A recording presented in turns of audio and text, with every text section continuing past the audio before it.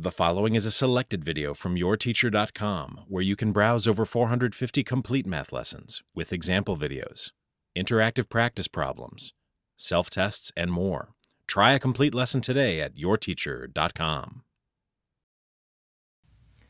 Thus far, we've represented equations using bags and blocks and cups and counters.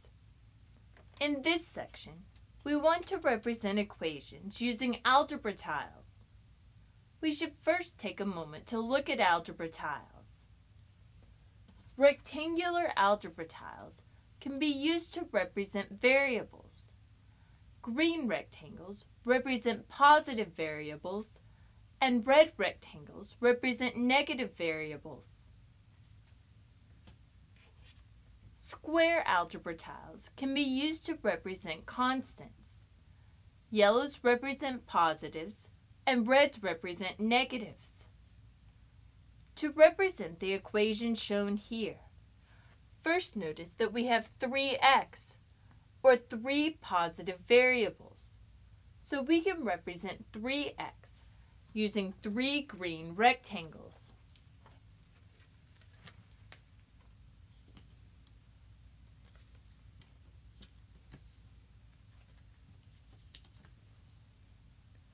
Next, we have plus 1, or one positive constant, which we can represent with one yellow square. On the other side of the equal sign, we have 7, or seven positive constants, which we can represent with seven yellow squares.